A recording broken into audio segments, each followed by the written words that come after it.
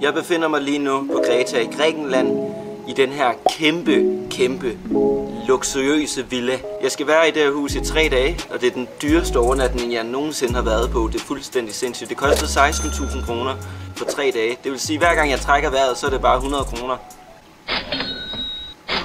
Jeg har også lavet en hel house-tour på hele huset, hvor jeg viser jeg er rundt i hele huset. Og hvis I gerne vil se det, så tjek min sidste video ud. Jeg skal bare holde ferie og vise jer nogle lækre steder, som Greta gemmer på. Vise jer nogle smarte ting, det her hus kan. Velkommen til min ferie, Greta 2020. Den her villa her, den er så luksus, at jeg ikke engang tror, jeg kommer til at prøve alle toiletterne, inden jeg tager afsted. Så hvad kan man lave i sådan en her kæmpe luksusvilla, spørger du sikkert.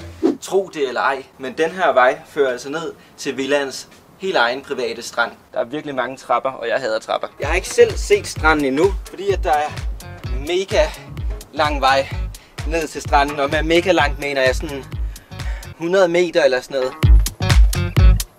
Overvej, når der kommer sne her, hvilket jeg aldrig tror, der gør. Men hvilken syg kælkebak man så får.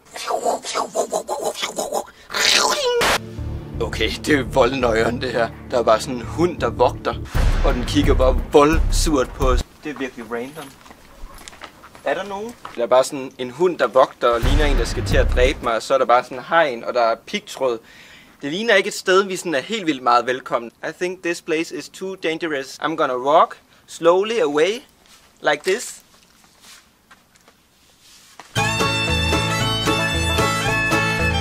Altså, jeg tror godt, at man måtte få lov til at gå derind. Det er jo trods alt vores strand. Men jeg tror ikke at tage chancen. Sikke en skøn tur til stranden. Det er bare så dejligt, at vi også har en pool. Du kan også gå i boblebad med noget. Det her, det er så appelsinjuice. Det skulle have været en meget dyr champagne. Men det har jeg ikke råd til mere. Du kan også gå i boblebad udenfor og nyde din millionudsigt og ønske, at du havde råd til mere end tre dage her. Det er ikke mig, der prutter.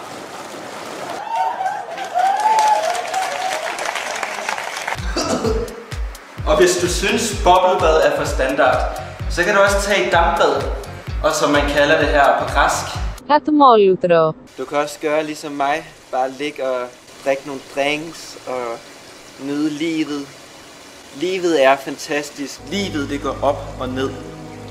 Man skal huske at prissætte livet. Jeg mener ikke prissætte, det er noget man gør med en ost. Jeg mener værdsætte. Man skal prøve det dårlige, før der er noget, der kan være bedre. Nu skal jeg vist ikke have mere appelsinjuice. Lys! Tænd! Tænd! Tænd! Man kan jo godt sige, at jeg lever lidt ligesom en millionær de her dage. Så jeg tænker, hvad vil en millionær bruge sin dag på? Han vil selvfølgelig tage ned og shoppe. Okay, nu skal I lige se noget sejt. Open for daddy! Så, veninder, så har jeg eddermame været ude og svinge guldkortet. Alt det, jeg har shoppet. Nå, skal vi lige se på, hvad jeg har fået shoppet? Ja, det er jo lige... Der er jo lige lidt... Øh, ja, det, der var lige lidt meget... Øh, hvor er det andet henne hernede? Det, sig... Det måske, vi lige skal slukke lidt. Ja, okay, nu er der ikke så meget tilbage, men øh, hvad er det, en millionær helt klart går ned og køber? En ny bil. Ja, jeg har købt en ny bil.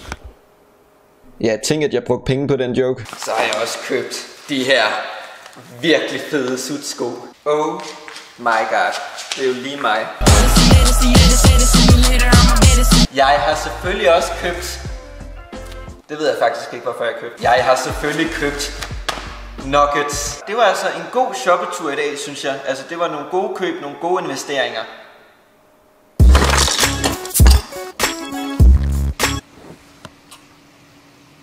Ah, sikke en dejlig dag, det er i dag. Jeg kan da ikke være den eneste, der tager underbukser i hovedet for at undgå solcreme i håret.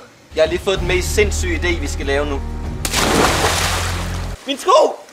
Min sko! Det vi gør nu, det er, at vi skal se, hvor lang tid jeg kan holde vejret under vand. Okay? Det bliver mega insane. 3, 2, 1. Nu! Det var, det var, det var strømmen. Det var strømmen, der tog mig op. Det var det. Det var simpelthen strømmen, den gik helt amok dernede. Vi prøver igen. 3, 2, 1.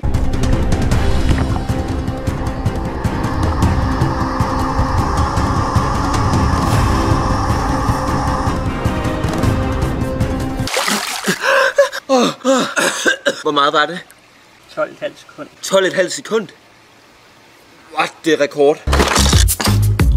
Como tú lo mueves, pa pam pam, haciendo locura en la mañana. Si alguien te pregunta, no pasa nada, solo amaneciste en mi cama. Dale, bésame, ven y atrápame. Hagamos jueguitos que de chiquito no pude hacer.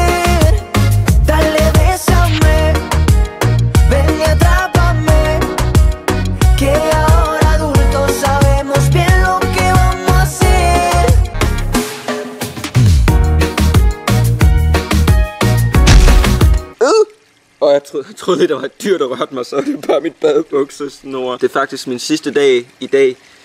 Jeg bliver smidt ud imod min vilje. Jeg kommer til at savne alt ved den her villa. Selv det der tørstativ. Jeg har booket et- et hotel.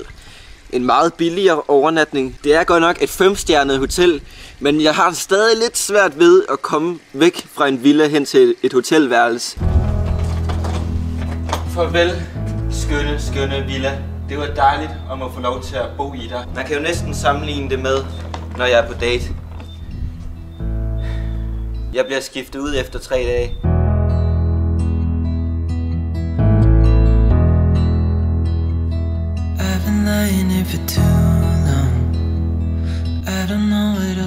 Det var altså en vild oplevelse at prøve at bo sådan et lækkert sted. Og jeg har også sagt det før i min tidligere video, men hvis man for eksempel var 11 personer afsted, så ville det jo give sygt meget mening. Nu er vi på vej hen til et nyt sted, jeg skal overnatte. Et 5-stjernet hotel. Ja, ja, ja. Vi fortsætter lige lidt den her JB-style lidt endnu. Så er jeg ankommet til det her meget, meget fine hotel. Lige så snart jeg ankom til hotellet, så kom der en drink i min hånd. Vi blev hentet i en golfvogn fra vores bil. Vi blev kørt 100 meter hen til vores værelse her. Skal vi prøve at se, hvad det er for noget, vi har fået? Jeg kan sige så meget, værelset her koster 725 kroner per nat. Det skal også lige siges, at priserne er nok lidt lavere end normalt på grund af corona. Ja, altså min første tanke, det er jo, at det er lidt småt. Udsigten, den er fantastisk. Så man kan godt se, det er et fint værelse. Altså selv skufferne er, er sådan guldbelagt. Jeg har med sanden også fået en lille velkomstgave af hotellet. Nej! Mundbind! Oh my god, et luksusmundbind. Så jeg godt ud. føler mig som en ninja. Hvad gemmer der så ellers hernede? Oh my god! Håndsprit! Hvad er der dog sket med den gang, hvor man fik chokolade? Så har jeg indvidet barn. Hotellet er sådan set super fint. Der er en pool, der er nogle restauranter. De har lavet den her kunstige øh, strand, hvor der er en strandbar. Selv øh, kaktusen her har de lavet unaturligt. De har fjernet pikkene, så jeg ved ikke, om man kan kalde det en kaktus mere. Så der er faktisk ikke særlig meget frygt. I dag skal vi ud på en lille udflugt. Vi skal ud til det, der er mest besøgt her på Kreta. En kæmpe historisk ting. Det bliver måske en lille smule kedeligt for nogle af jer, der tænker, øh, skal vi nødt til at sådan se sådan noget. Uh, så jeg tænker, at jeg prøver at gøre det hurtigt, inden det bliver sådan en quick lesson. Historietime med Morten, I kommer til at lære noget sådan der. Jeg er egentlig lidt glad for, at vi skal på udflugt i dag, fordi at jeg synes, hotellet det er, det er næsten for fint til mig. Stemningen på hotellet det er sådan meget fint, og der er sådan klaverspil over alt, og folk de sådan sidder jo nærmest og, og holder en lille finger ud, når de drikker af deres æblejuice. Jeg føler mig en lille smule malplaceret, når jeg kommer ind med min grimme grå trøje og vil, vil bare have nogle farverige drinks. Så er jeg ankommet til Knossos, og typisk mig, så det første jeg gør, det er at gå ind på en restaurant og begynde at æde. Så det vi skal ind og se, det hedder Knossos Palace, som er en meget gammel by. Faktisk flere tusind år gammel by, som de har udgravet. Nogle siger, at det er 6-8 år siden. Nej. Hold da op, det er, lang, det er godt nok lang tid siden. Jeg mener 6-8.000 år siden, at man mener, der er nogen, der, der har boet i den by. Men jeg hoppede ind på den her øh, turistfælde-restaurant,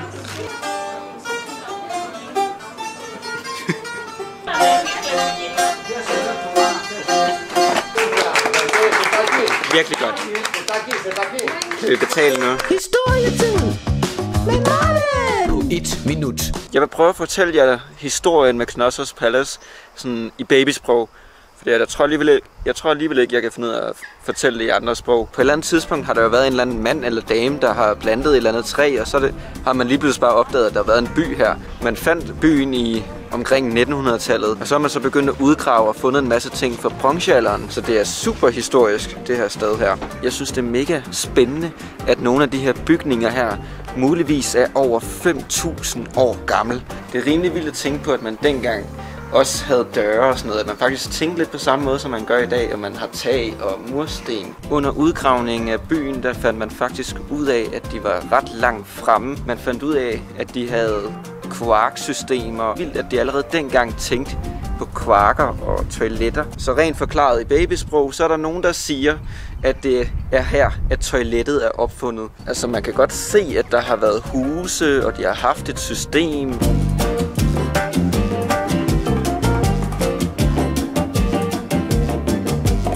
Og hvorfor har de lavet en tegning med en hund med hønehoved?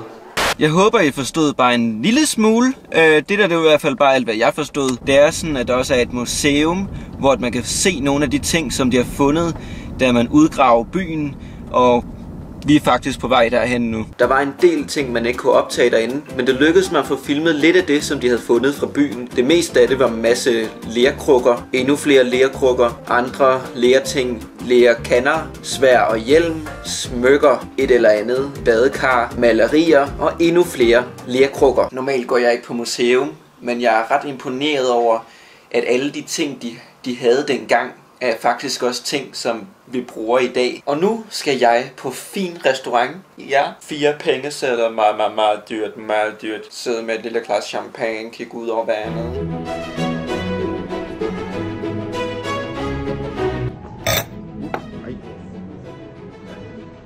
Der er chokolade på min bøf.